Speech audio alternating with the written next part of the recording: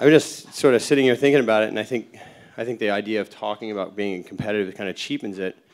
Has anyone in here ever wanted to get worse at something? I mean, if you're trying to get better, you're competitive, it- whether it's with yourself or with someone else. Some people try to get, try trying to get more better. Does that make sense?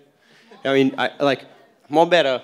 Oh, that's the one. A better or Better. just throwing a or, or But Rob and I were both raised in very competitive homes. Rob's dad made made the Malloy brothers' father break a ping pong paddle and cry one time in his own home. This is not a joke. no, it was serious. He Actually, threw the paddle and broke the wall, screaming, and cussing. I heard. Yes. But Rob's dad and his older brother are like crazy, crazy competitive guys. Like they always, that's how I always knew them hanging out when we were teenagers. You know, like Jim would beat us at tennis, and then he was way better than us at golf. And he would like take us to the golf range, and we'd be hitting balls, and he'd be like, "The hell are you doing? That's, that looks terrible. That's awful." And he'd just like berate us and like just uh, kind of he was constantly pushing that button, and it wasn't.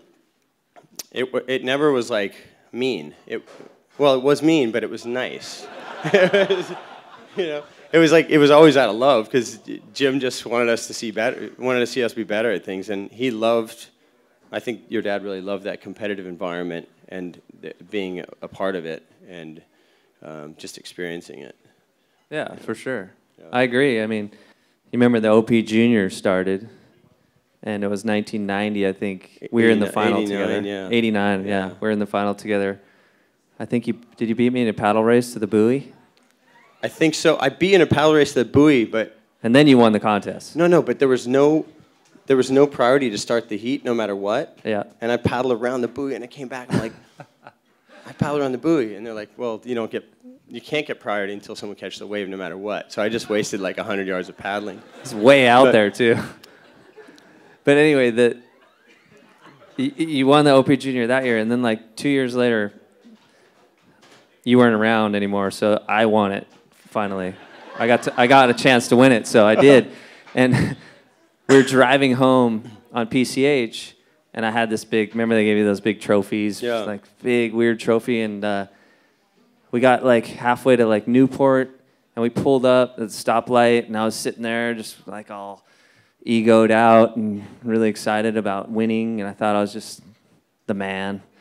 And uh, my dad looks over the car next to us, car full of people, and he's like, "Hey, you think those think all those people care that you just won that won that contest?"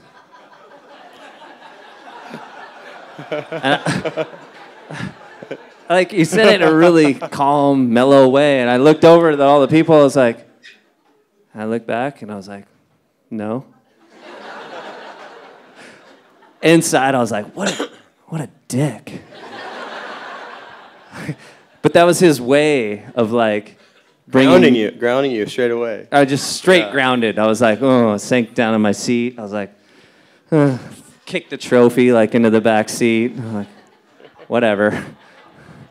Yeah, he was good. Like, cause Jim always wanted us to be our best at whatever we were doing. You know, Jim was like a dad to me for many years, and but yeah, it was always he would he wouldn't pull you down to beat you up. He would pull you down to make you not have an ego and to not feel like you're great or something. You know, just like you're a normal person. You just want something. Eat dinner now and shut up. Yeah. And yeah, And then and then do the dishes. yeah, and then And take the trash out when you're done with the dishes, all right? like, and then I'll beat you at ping pong. We're done, and you can go to sleep. yeah. and uh, shut up because we're Yeah. trying to sleep upstairs. But And but my my mom was like that in a way. Like my mom was, my dad was like, I would surf a heat, and I would come in, and my dad would be like, "How'd you do?" I'm like, "Weren't you watching?" He's like, "I think I saw you catch a wave." My, like my dad was zero. Like he he liked to see us surf, but he was he, he was not like soccer dad at all. My mom, she al- my mom my whole life has told me she's like, "You get a big head, I will slap the shit out of you."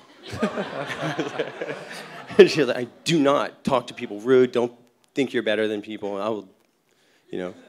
So I mean, we both kind of had parents like that. Judy. Judy. I love Judy. Judith.